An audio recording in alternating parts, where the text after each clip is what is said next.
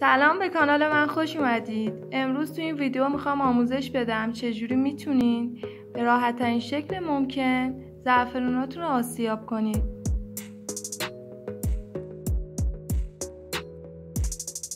برای این کار ابتدا زعفرونا رو از پاکتش در نمیاریم و اونو داخل یه پلاستیک دیگه می‌ذاریم. درشو میبندیم. یه دونه بردنه چوبی تو همه خونه ها پیدا میشه. از این وسیله استفاده کنید و زعفراناتون رو آسیاب کنید. روی پلاستیک زعفرون بکشید تا به اون میزانی که می‌خواین پودر بشه.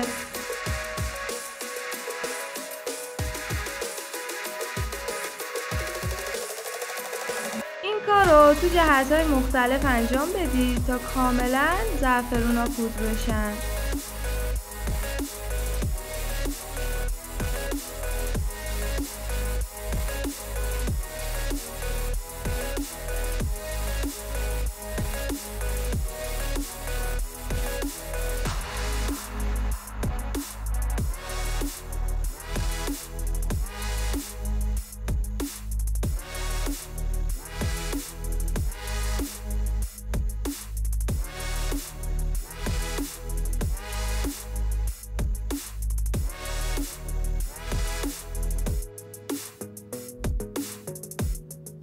خب همونطور که می‌بینید زعفرونا پود شدن از پاکت در میاریم.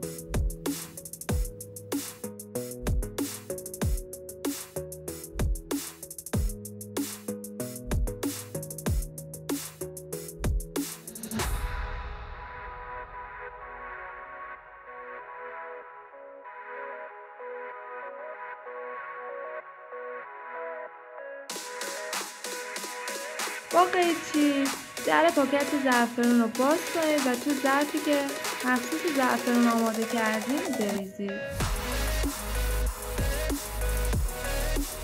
این بهترین ترفندی بود که می‌تونست به شما کمک کنه تا زعفروناتون رو بدون دوریز آسیاب کنید. اگه از این ویدیو خوشتون اومد حتما لایکش کنید.